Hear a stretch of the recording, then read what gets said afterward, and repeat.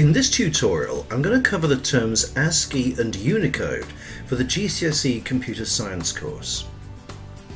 We already know how to convert ordinary decimal numbers into binary code. We simply take the 8 place value columns for the binary table, identify which of those numbers we need in order to add up to the total, in this case of 182, and then put ones under each of those numbers, filling the remaining columns with zeros. But how can we do the same thing for letters? We understand numbers can become numbers, but how do we turn letters into binary numbers? Every single key on your keyboard has a number associated with it. Every single character that you can type can be translated into a decimal number.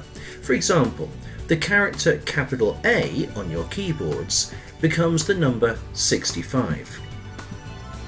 This is a standard and is globally recognized. It's part of the ASCII table. Every letter, every symbol and every number on your keyboard has a corresponding number associated with it. So A is always 65. ASCII uses 7 bits. In other words, the binary numbers representing these letters have 7 bits to them. So we use these 7 columns to create a possible 127 different numbers, each of which has a number, letter or symbol associated with it.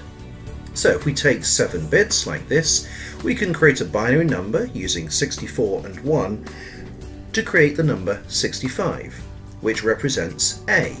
So this is the binary representation of the letter A on your keyboard. With 127 different possible numbers, we can represent all of the uppercase letters, all of the lowercase letters, all of the digits 0 to 9, as well as a wide range of symbols. Additionally, there are also commands on your keyboard that are also represented by binary numbers, So the backspace button, escape, tab, the enter key, and also the delete button, which actually is the number 127, the maximum that ASCII can represent.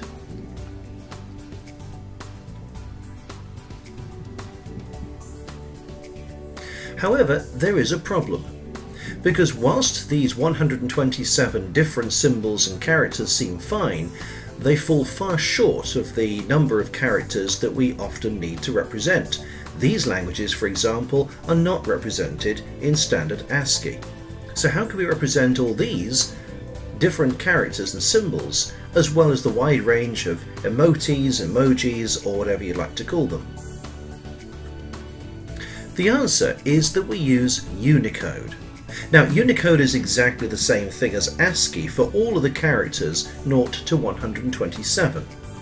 But Unicode can use more bits than ASCII and so it can represent a wider range of different symbols. So it can include all of the alphabets, a much much wider range of symbols, as well as a wide and growing range of emojis.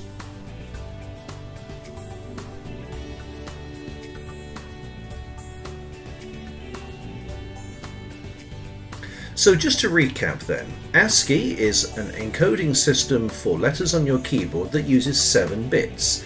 We can use an 8th bit occasionally, which we call extended ASCII, which doubles the number of possible characters, although that's still far short of what we need for the full set of languages and symbols that we use. Unicode is the same thing as ASCII for the first 127 symbols or characters, and Unicode can support far more characters by using 8, 16 or even 32 bits, which would allow the support for 2,147,483,647 different possible characters. That's a lot of emojis.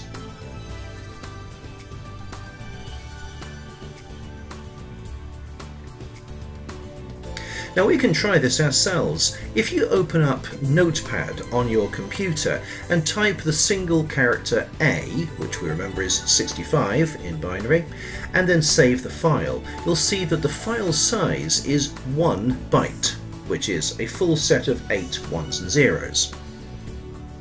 Now if you do the same thing, but this time hold down Alt and press 1 and you'll get a single character that looks like a little smiley face in Notepad.